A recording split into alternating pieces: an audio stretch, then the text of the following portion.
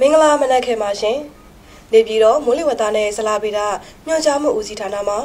2023ခုနှစ်မေလ10ရက်နေ့မနက်9:00နာရီချိန်ထုတ်ပြန်တဲ့မိုးလေဝသသတင်းများကိုတင်ပြပါမယ်ရှင်ဒီကနေ့မနက်6နာရီခွဲအချိန်တိုင်းထွာရရှိခဲ့တဲ့အနှိမ့်ဆုံးမူချိန်များမှာနေပြည်တော်မှာ30ဒီဂရီဆက်စီယံ86ဒီဂရီဖာရင်ဟိုက်ရှန်ကုန်မြို့မှာ26ဒီဂရီဆက်စီယံ89ဒီဂရီဖာရင်ဟိုက်နဲ့ မန္တလေးမြို့မှာ29ဒီဂရီဆက်စီယံ84ဒီဂရီဖာရင်ဟိုက်တို့ဖြစ်ကြပါတယ်။ဒီကနေ့မနက်6နာရီခွဲအချိန်မိုးလေဝသကြိုးတို့မှာဖမ်းရရှိတဲ့ပုံရကပ်ပလီပင်လယ်ပြင်တောင်ပိုင်းနဲ့ဘင်္ဂလားပင်လယ်ော်တောင်ပိုင်းတို့မှာတိတ်ထူထမ်းနေပြီး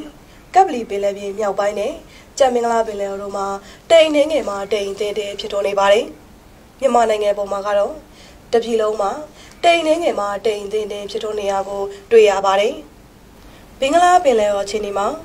ဒီကနေ့မနက်မြန်မာစံတော်ချိန်9နာရီခွဲအချိန်တိုင်းထွာချက်များအရာဘင်္ဂလားပင်လယ်ော်ရှိတောင်ပိုင်းနဲ့ရင်းနယ်ဆက်ဆက်လျက်ရှိတဲ့ကပ်ပလီပင်လယ်ပြင်တောင်ပိုင်းတို့မှာနောက်ဆက်ရှင်နာရီတွင်လီဘီယာနဲ့ယုံတစ်ခုဖြစ်ပေါ်နိုင်ပါတယ်။အဆိုပါလီဘီယာနဲ့ယုံဟာပုံမအားကောင်းလာနိုင်ပြီး9ရက်5လ2023ရက်နေ့မှာမုန်တိုင်းငယ်ဖြစ်သို့ရောက်ရှိနိုင်ကမြောက်ဘက်သို့ဆက်လက်ရွေ့လျားနိုင်ပြီး 10ရက်5လ2023ရက်နေ့မှာဘင်္ဂလားပင်လယ်အလဲပိုင်းနဲ့ရင်းနယ်ဆက်ဆက်လျက်ရှိတဲ့ကပ်ပလီပင်လယ်ပြင်မြောက်ပိုင်းတို့မှာဆိုင်ကလုန်းမုန်တိုင်းဖြစ်သို့အားကောင်းလာနိုင်တယ်လို့ခန့်မှန်းရပါတယ်။ကပ်ပလီပင်လယ်ပြင်တောင်ပိုင်းနဲ့ဘင်္ဂလားပင်လယ်တောင်ပိုင်းတို့မှာတိမ်ထူထပ်နေပြီးကပ်ပလီပင်လယ်ပြင်မြောက်ပိုင်းနဲ့ကြံမင်္ဂလာပင်လယ်တို့မှာတိမ်နှင်းငယ်မှာတိမ်သေးသေးဖြစ်ထွန်းနေပါတယ်။မြမပင်လယ်ပြင်မှာလှိုင်းနှင်းငယ်မှာအတင်းတင်းရှိပါမယ်။လှိုင်းမြမှာ မြမကံရုံနဲ့တခြားနဲ့ကံလုံပင်လယ်ပြင်တို့မှာ၄ပေမှ6ပေခန့်ရှိနိုင်ပါတယ်။ဒီကနေ့ညနေထိခန့်မှန်းချက်များအနေနဲ့ကတော့ရှမ်းပြည်နယ်ရှေ့ပိုင်းနဲ့တောင်ပိုင်းကယားပြည်နယ်တို့မှာနေရာကျကျနေ